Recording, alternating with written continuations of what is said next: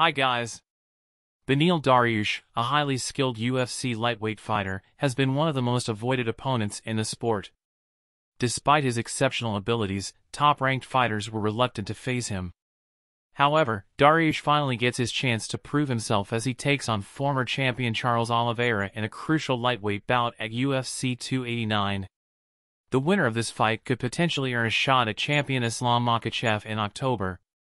Dariush has been yearning for impactful fights against the best fighters in the division, fights that could solidify his legacy. It was frustrating for him to witness other fighters publicly expressing their willingness to take on anyone while he waited for opportunities.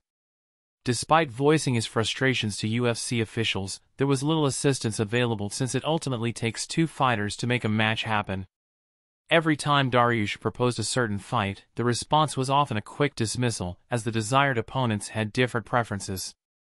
The situation didn't make sense to Dariush and became a source of frustration.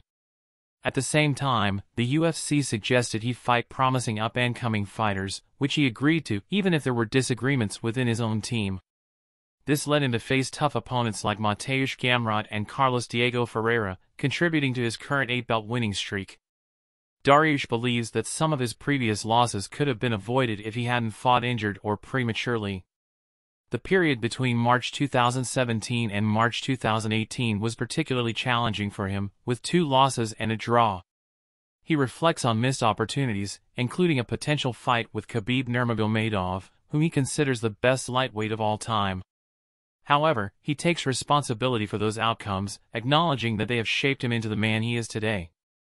A win against Oliveira would likely set Dariush up for a title shot against Makhachev in Abu Dhabi.